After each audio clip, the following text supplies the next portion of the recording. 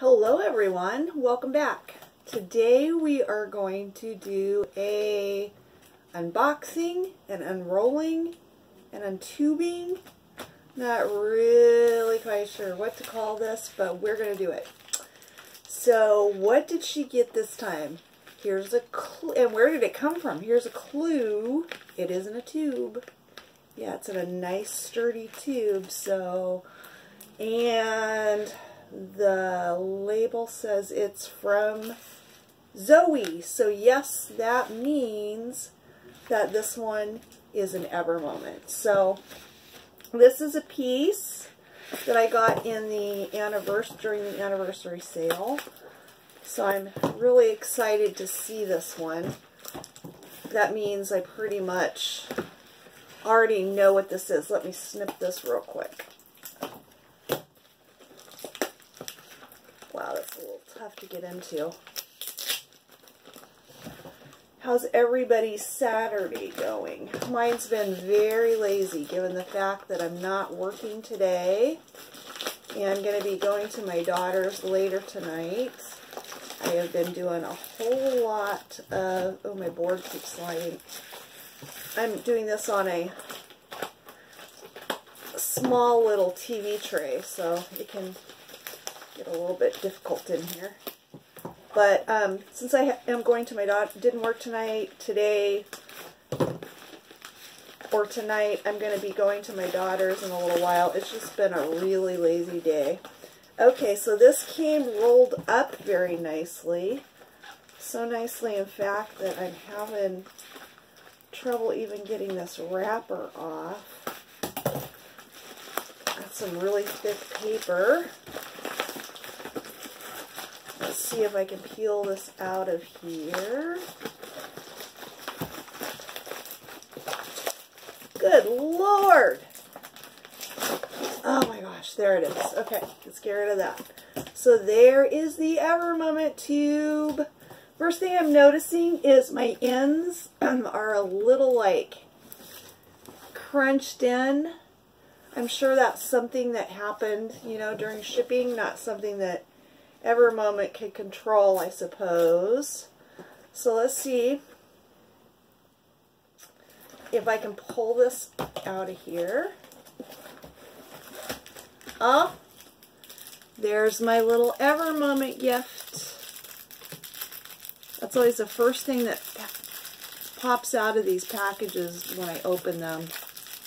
So that's always really fun. Oh, some cute little little pink bow and a little uh, floral bow. So those are super cute. My granddaughters love those, so I'll be able to take them, those to them later today. So we got some diamonds packaged very, very nicely. And we have a toolkit, which we've all seen a lot of times, but just in case you've never seen it, an Ever Moment toolkit. I mean, hey, it could happen. So we do get a pink pen with a nice purple grippy three placer on this end. Some very, very sharp tweezers, which um, one of the protective uh, covers for the tips, it seems to be off or missing. So that could be get a bit dangerous. Oh, two plates of pink wax, and a six placer. Super cool. So I'll just stick that all right back in there so I don't lose any of that. Especially the six placer. I For a long time I could only do, I think that's a six placer. Or is that a nine placer? I can never remember. Is the clear one six or nine? Yeah, it looks like, are the clear six? I think it might be. I don't know if it tells me on there but we shall find out.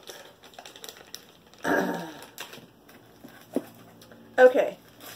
Oh, oh, and we have bags and labels. I always forget that Ever Moment sends labels, but I really like their labels. They're a nice size for labeling the bags or containers. Um, and they send you a lot of them. I always forget that they do that, but that's really nice. I think I'm going to hold those out so I don't forget them. Okay, let's get into what we really want to see. Move some of this stuff off my table so I have a little more room. Okay. So, this is the piece that I got. It's a 30 by 40. It looks like it has 34 colors. And that's the image. I thought that was absolutely gorgeous. Some praying hands with some beautiful colors and lights and some angel wings is what that reminds me of coming out in the back and just beautiful light. I just thought that was a beautiful image. So I'm really was really excited to get this and to work on it. So let's take a look at what this canvas looks like. Oh, I've been doing so many big pieces that it just seems awesome to have something that's 30 by 40 for a change. My canvas is a little bit like, I don't know, wrinkled up, dented, squished, maybe from when those tops, those end caps came off, but it doesn't look like that's going to be too big of a problem.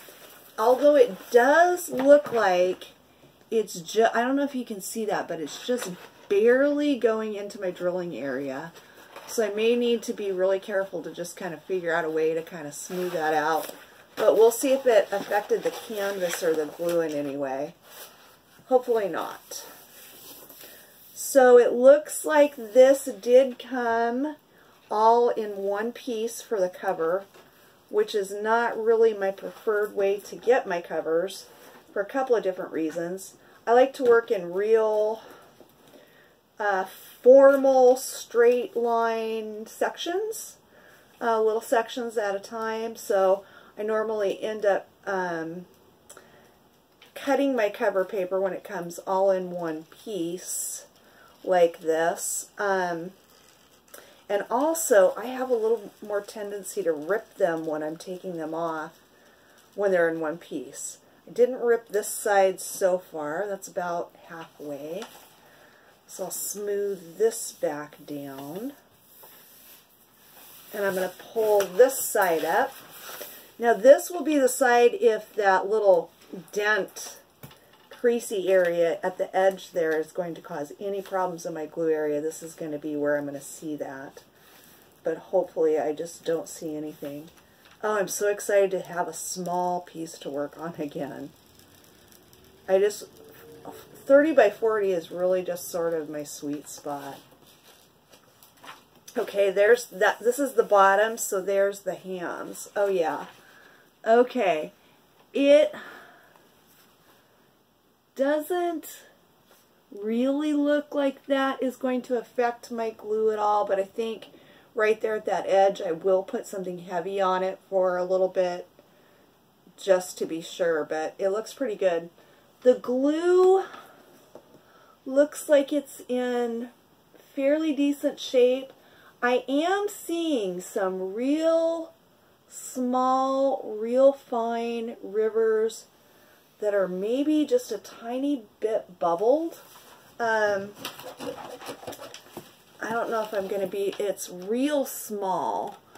You, I may not be able to get you at an angle where you can see it, but it's down here. See that? Oh, yeah, you can see that right there.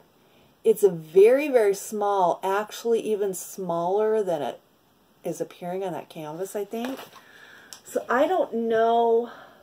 I don't think that's going to affect anything. I may just run my X-Acto knife through that just to be on the safe side. I think down here on this end, I saw some of the same sort of rivering. These there is a little bit of like real fine wrinkled rivering on this end too.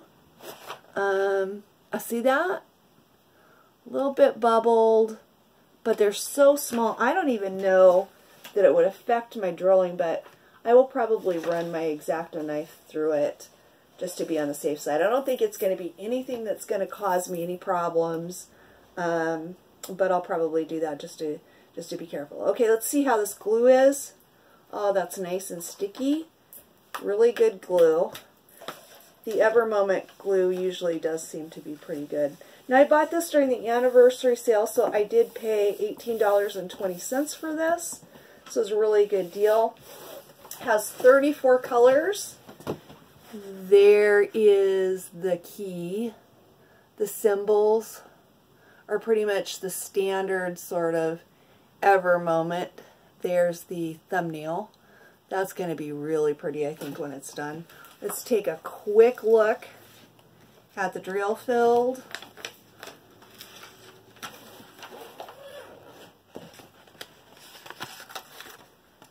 Let's see, I think it goes that way.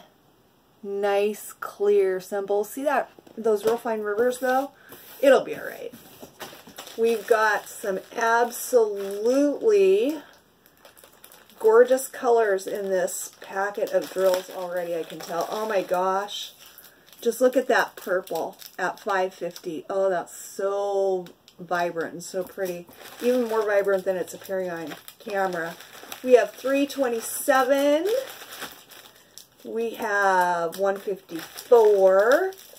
Real pretty lavendery purple. 209. Got some gray. Got kind of a, I don't know, super dusty uh, lavender. 3734. Oh, we have some 939s. Do we even have 310s in this? Nope, not a 310 to be seen. Some 865, 3756, which is a, just always a real pretty pale, uh, almost like a translucent blue. I can't, I don't know how to describe it. 823, oh, I'm throwing drills all over the place. 208, that's another really pretty purple. We have 729, some three more 3865s. Oh, that's a pretty blue. 157 it looks like some pretty pink. Oh, that's not pink. That's a dark gray. People are going to think I'm colorblind today. 939 again. We've got 3807. That's a super pretty color. 501. Oh, that's a pretty green. Green is my favorite color, so I love green. Um, 159, 779. More 550s, 500, another nice green. Got some sort of pale peach. Uh, dusty pink. Another pretty blue. Let's see what else is in here. What didn't come out? I don't know if we saw this one. 208. Real pretty purple color. Pale pink. Ah, some brown. What's a painting without some uh, nice shade of brown? It's kind of a brown with, it's 7.79. So I don't know. It could just be this lighting, but uh, it's pretty much a dirt brown. 3726, kind of a dusty rose or dusty mauve. Ooh, 327. Yeah, we saw that one already, but that's just such a pretty color yeah, so there's a lot of really pretty colors. I'll do a formal inventory on this um, off camera because I don't know.